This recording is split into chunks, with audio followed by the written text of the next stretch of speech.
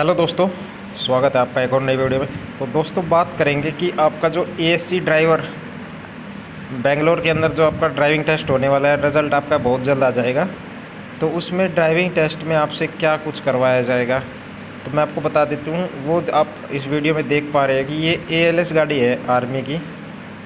तो इस एएलएस गाड़ी से हमारा जब पठानकोट हुआ था ड्राइविंग टेस्ट तो हमसे वहाँ पे ये अपना देख सकते एट ऑप्टिकल बनवाया गया था। बस से हमारा रैंप करवाया गया था। बस से अंडरग्राउंड जो अपना रेलवे का वो होता है अंडरग्राउंड ब्रिज वो क्रॉस करवाया गया था। हिल एरिया करवाया गया था। गाड़ी में अंदर बैठते वक्त हमसे कोई कुछ नहीं पूछेगा।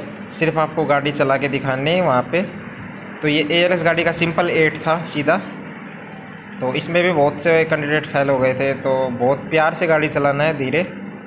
आपके साथ फौजी भाई बहुत बढ़िया कोऑपरेट करेंगे।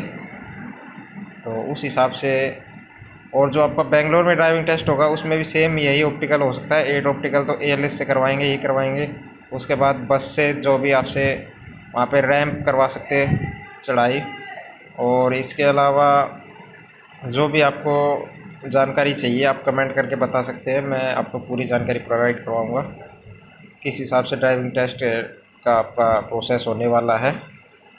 और आप एएलएस गाड़ी की पूरी जानकारी मैं आपको नेक्स्ट वीडियो में बताऊँगा कि इसमें किस प्रकार से क्या कुछ है, कितना तेल आता है, कितने इसमें हवा आती है।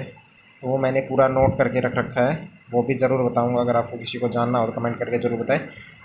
और डिस्क्रिप्शन में हमारे व्हाट्सएप ग्रुप का लिंक है, उसे आप ज्वाइन कर सकते हैं। धन्यवाद दोस्तों।